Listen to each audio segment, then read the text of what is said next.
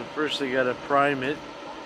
That's what they're putting buckets full of, of very wet cement, I think.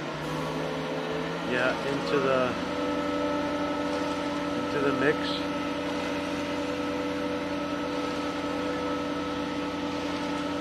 Cement's gonna start pouring into the truck. And then everybody's waiting on top for it to start coming. Which I think is the position I'm gonna have to take pretty soon.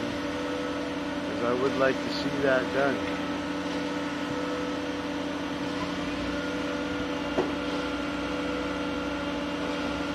Okay, I'm gonna go up and check it out. It's a long walk, so it'll be a minute. Bye.